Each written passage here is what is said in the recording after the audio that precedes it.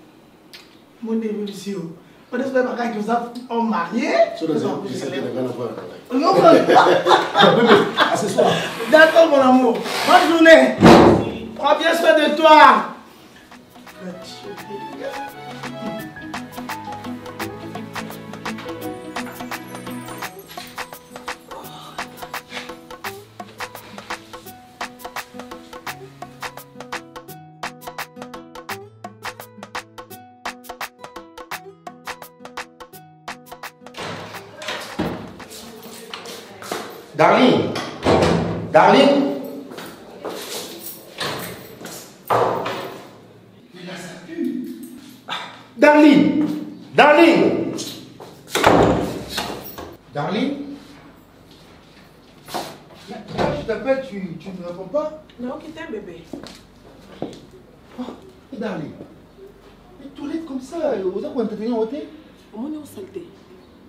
Eh, Gesho. Kani. Ta moninga o tsaba maquillage na eboye. Eh? Moninga o nga zala propre, faut tika nga nazo ka teint sous ya nzoto na nga. Toilette sana eza ya biso mibale. Na nika ngo, na nika ngo te. Eza masuba na biso mibale. Microbe eute la wapi? Ah, chérie, laisse tomber. C'est comme ça que tu me réponds Tu sais bien prendre soin de ta peau.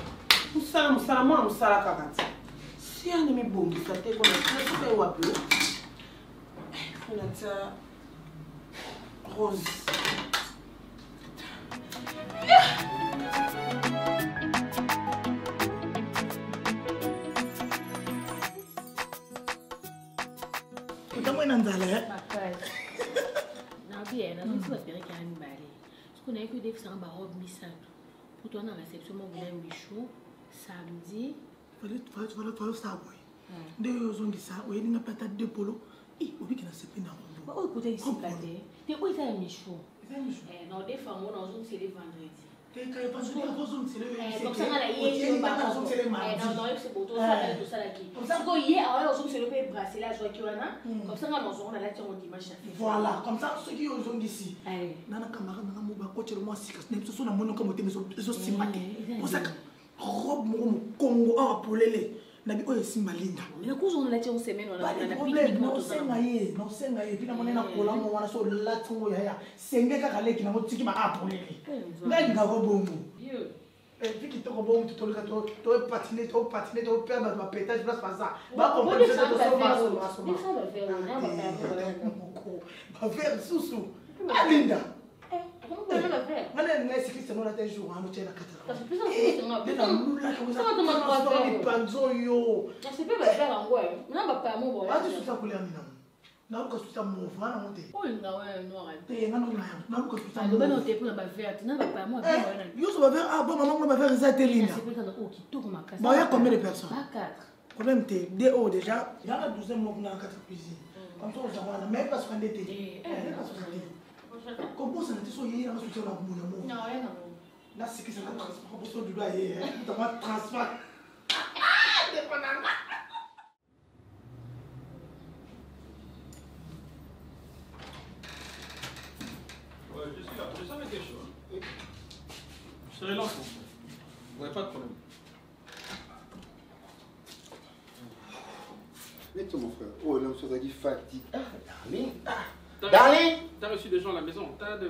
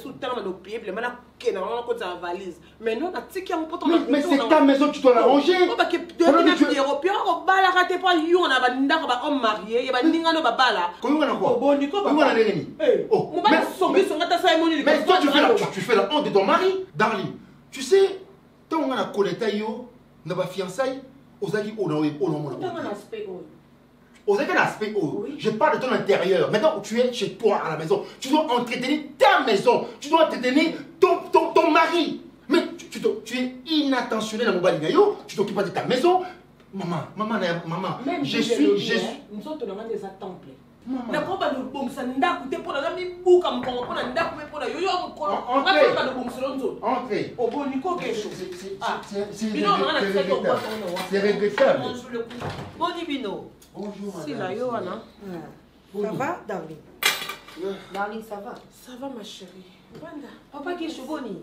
bien mama oza bien vandaka eloko yango totyaka yango mposo moto alati pantola couleur boye ebeba te ndako moba tobongisi poussière esilaka te siko naboma nzoto otika bafenetre pole bokangaka bapoussière te ye alingaka batika bafenetre polele mopepe ata libanda ekota alingaka te eh, eh, kimia papa nakoti lolimete ngai nakoleka biloko boye te papa aza bien aza bien nasi akomi te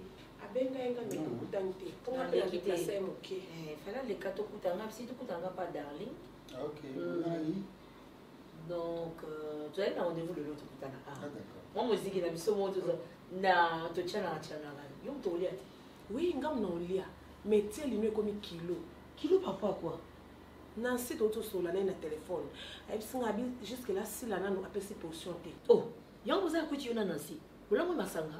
obino tomela masanga amela masanga te ntango masanga ekenda bino na ndenge mosusu mbongo eza ngai ngamela na mbongo awa nansi fo apesa yo fo pesa yo simbaka mbongo mai nansi asimbaka kaye ayebi ke motu boye motu boye apesi ndokosimba mbongo kotia te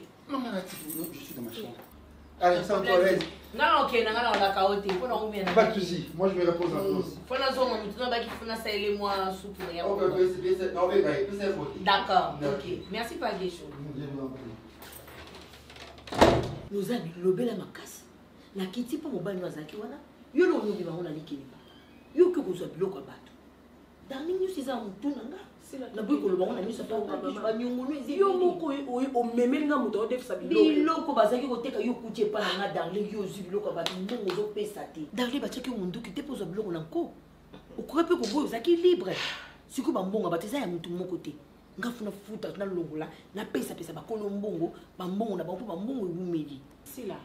naa na besoin mbongo wana donc mwa oyo ndenge amina kolia boye okata mbongo ya motu moko ofuti ye mibale wana so misato wana batikali bazela oyelanga kiyanke te parce que ntango odefaka ozalaka na komikitisa pourquoi bino yo na nansi boyi kotianga na berere kaka bakotyonebiloko na biso soki bosala babiloko na bino kaka bozotindikanga na makasi ngai nadefaka te eza tanga na yo ngai nadefaka oh. te nga na defamobali na nga alingaka te na defa nga so na lula eloko na lakisi mobali na nga soki andimi nazwi soki baboyi nazwaka te sala ndeko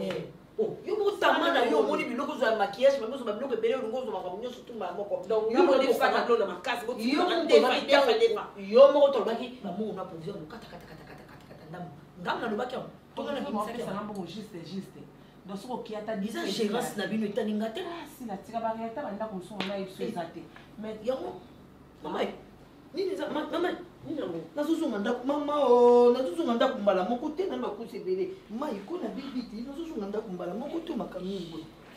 oh, eza ni masuba eza masuba te sila mpo na kamwe boza na bana tozi bana koma mai oti sikoyo ekauki ka te oh, ndenge kotangaka awa mai maboko kesha sokola elobi na maboko eh. Eh!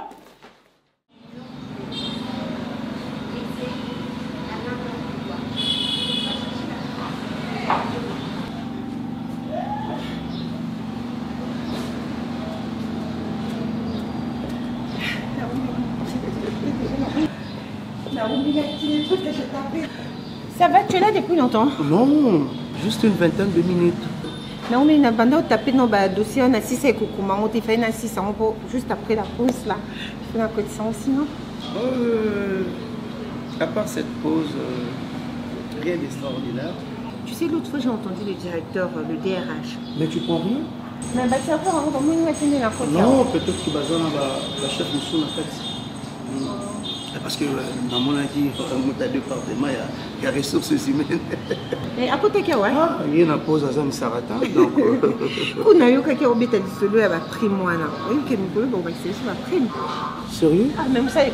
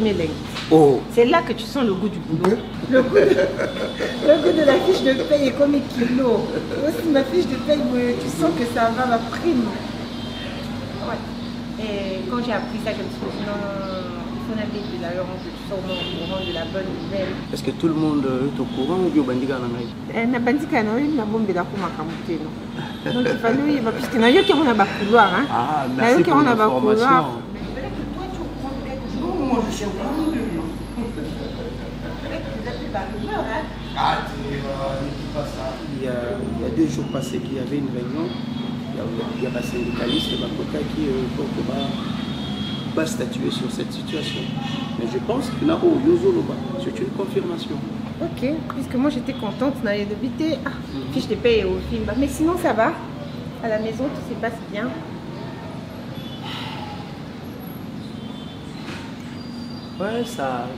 ça roule. Ça roule pas nécessairement, mais ça va. omoni avec baréalité ya bino basi mwasi na mwasi azalaka na manière na ye oyo akontrolaka mobali na ye eh, mais ces dernier temps ezobwati mwa moke j'espère que tokozonga kaka dans le bon chemin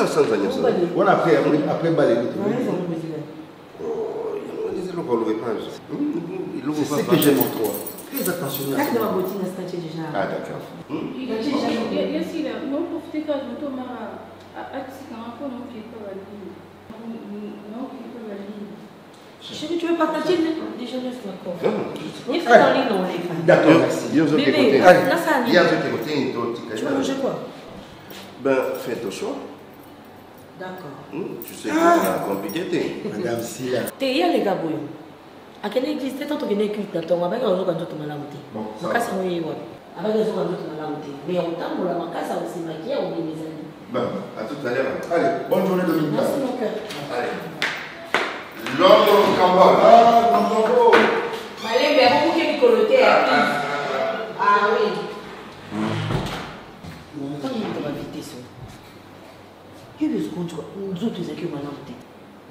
me mpo na obeli ti pokua te me ntango aye ere ni mpo abikisa yango misu poko olingi ochange te saki ozwi wapi mpo nayebi yango te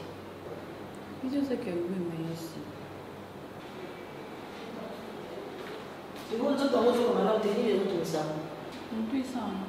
mais moto ezosala mpasi omoni crayon ndenge nini parce que soki moto azoka moto mpasi misu mpe ekomaka na flou kende omata na chambre na yo lala kota na kati ya kwete tia split mela doliprane lala bwema ebeli te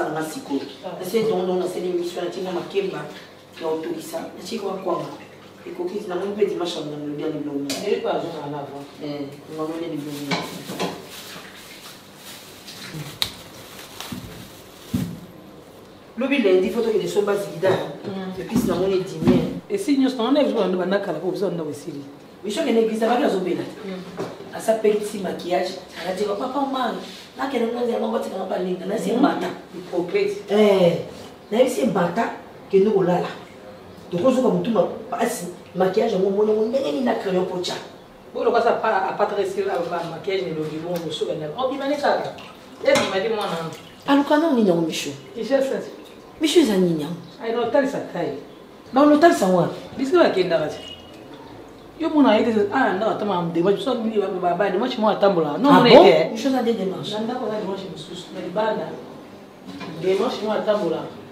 olinga te so nakangi mwa mona yo obela motupa na pardon eh, biloko esili mpenza nayebisa yo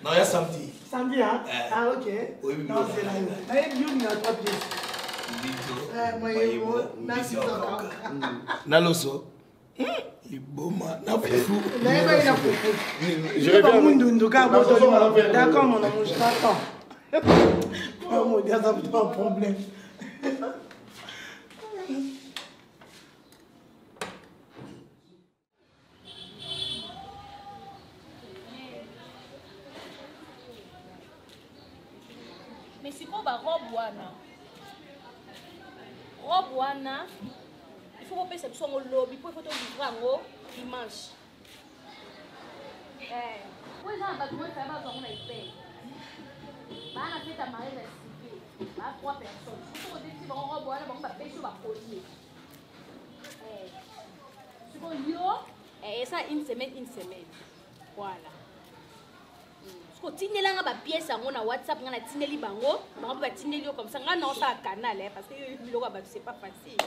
kodefa oyo oh, c'est vraiment pas facile mpo bato wana bayebi ke baozwa partir na ngai bino mpe bopesa partir na ngai kodefa oyo oh, ce n'est pas facile ya likambo ya confiance soki fo oyebisa ngai eta nini barobe wana ezaleli eh, mais bo telanga mpe chaussure wana natunaki yo mpo na ya aminata ya na ngai wana abala wana telede yoko mino na niveau odefaka leson te no bomesani te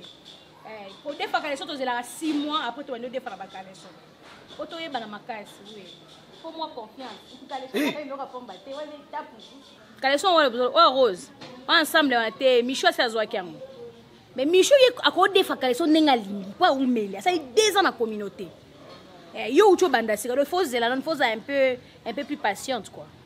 mais yo pour le moment ezaka bapantalon banini cycliste caleçon string nyonso pas pour le moment bon c'est bon kasi tinanga na whatsapp eh, tinda na groupe groupe oyo ya defa wana oyo tosala wana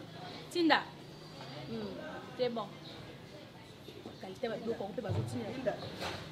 mama boni naoyo te ezaka nde na bakaleson te makutu omoni neti kama caleson caleson eza 6 mois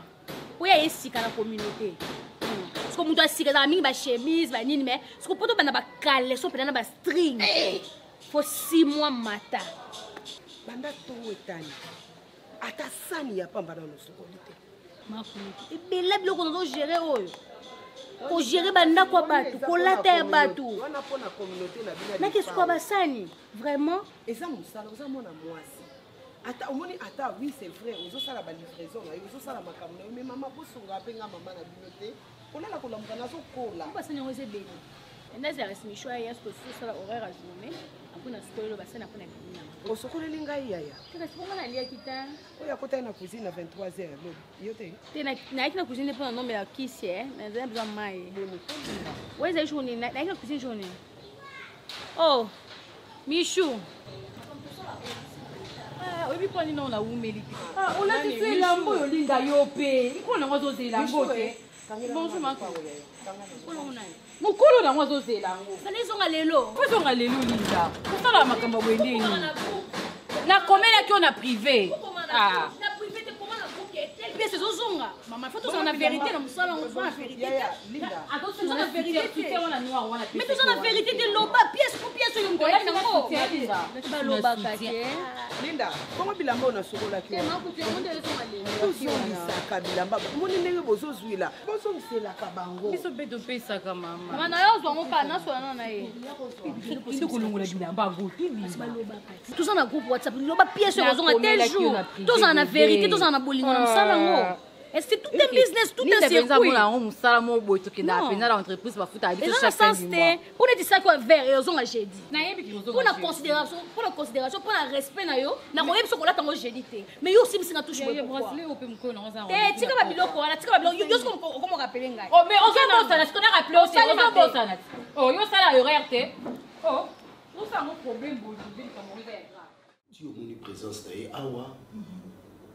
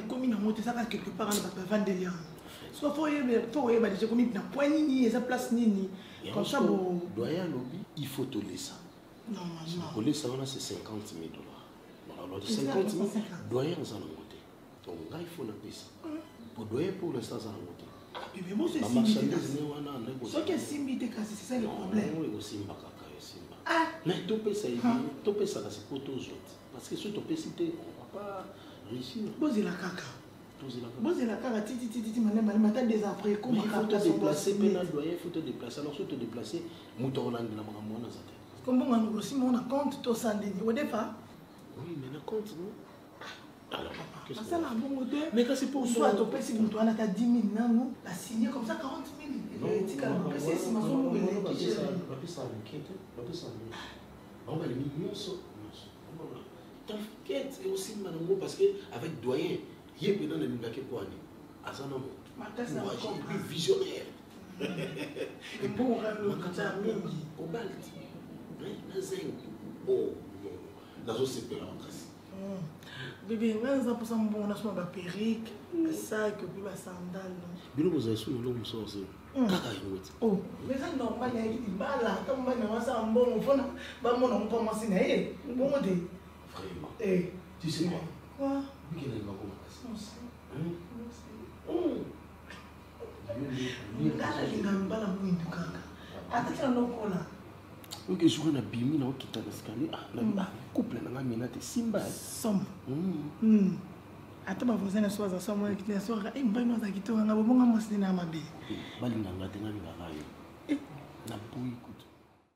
sikoyo omoni ba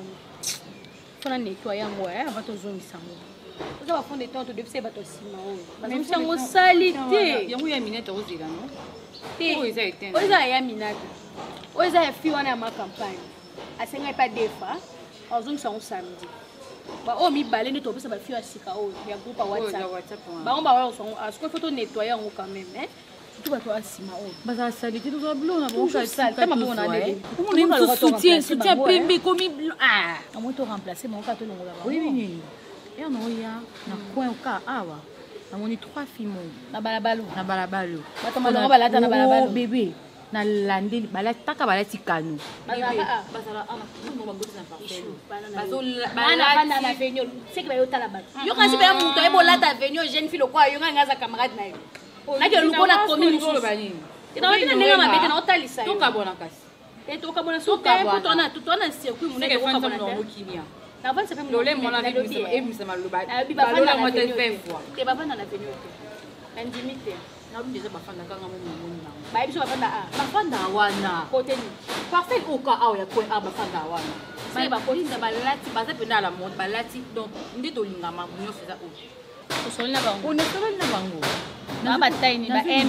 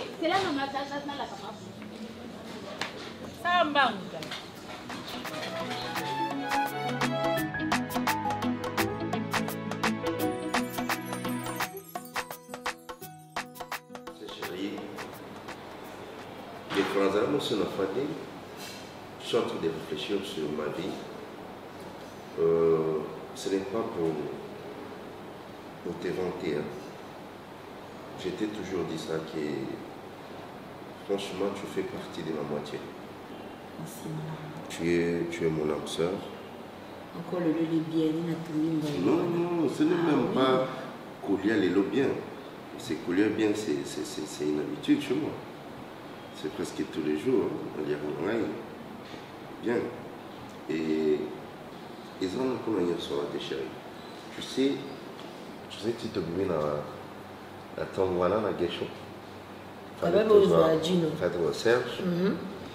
Alors, Après. donc tokomi epai ya- ya- ya serge d'abord à la maison Azali Donc, te. euh, donc bango nyonso babebisanga na journée Pwani. oyebi namituni parceke gesho na serge basi oyo batya na ndako balingela bango basi wana to babala basi wana par contraite to bango moko mpenza balinga basi wana olingi na bango ndenge eza kolinga na bango moko te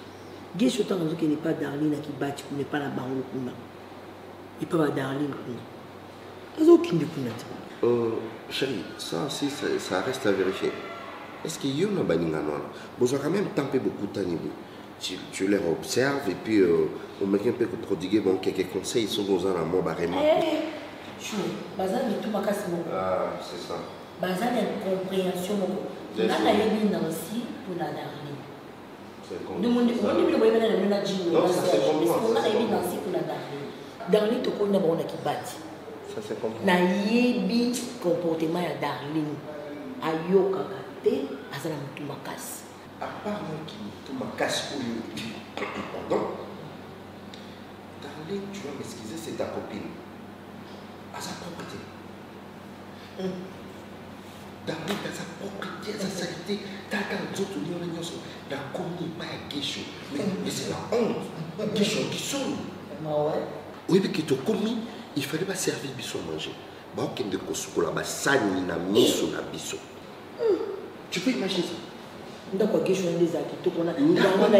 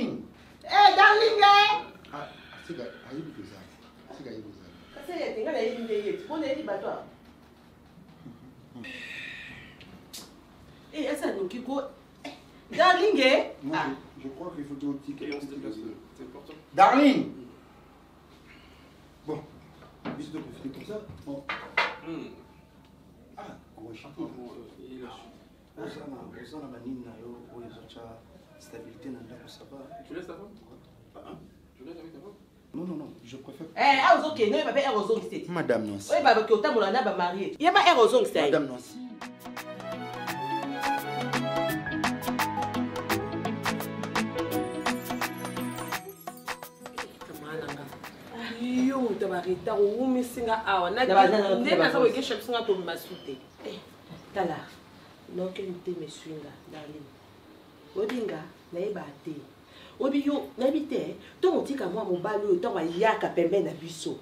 eh? ntango te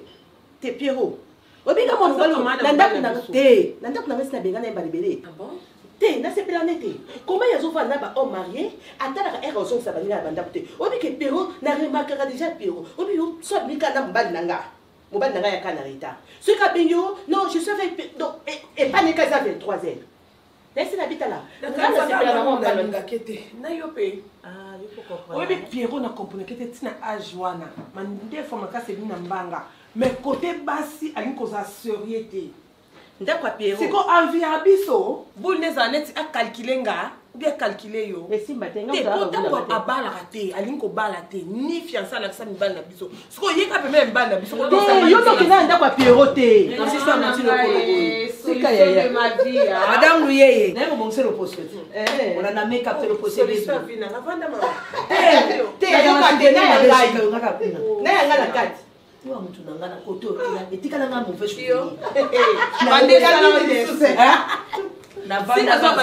nazwa soki mai ya maboko soki tata yo moko geshu asokoli maboko na butu mai wana esopani awa